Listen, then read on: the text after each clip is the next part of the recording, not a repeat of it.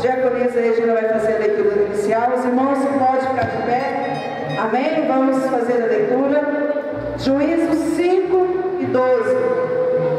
Amém? Glória a Deus. Aleluia. Glória a Deus. Cumprimento dos irmãos com a paz do Senhor. Aleluia. Glória a Deus.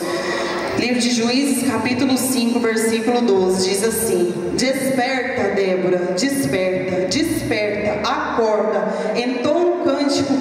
levanta-te, Baraque, e leva presos que te prenderam, tu filho de Abinom. Então desceu o restante dos nobres, o povo do Senhor em meu auxílio contra os poderosos. Aleluia, Deus. Vamos orar, igreja, nessa noite? Aleluia, Jesus. Soberano Deus e eterno Pai.